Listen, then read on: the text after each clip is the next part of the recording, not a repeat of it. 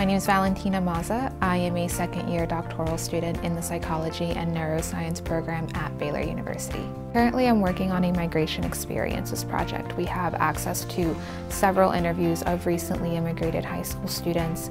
We gained access to this data set from Dr. Amanda Venta at the University of Houston. It's something that I'm turning my thesis into and just growing off of that I hope to be able to further um, establish community relationships to be able to access this population, uh, look at more specific biomarkers to be able to track physical health outcomes um, in addition to emotional health outcomes. I'm applying for the Paul and Daisy Soros Fellowship for New Americans.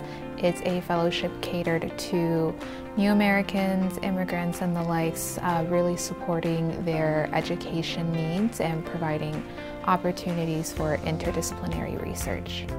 So what really got me excited about this research is wanting to address how experiences unique to this population can affect health outcomes across the lifespan.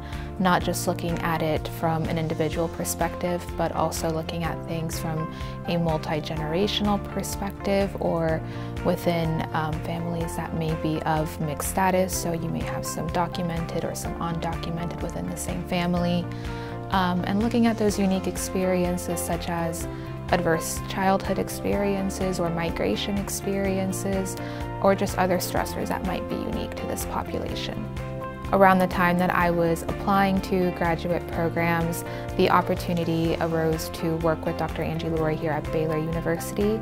And because of our research interest, our shared experiences, and our passion for what it is that we do, applying to Baylor University and working with her seemed like a natural fit.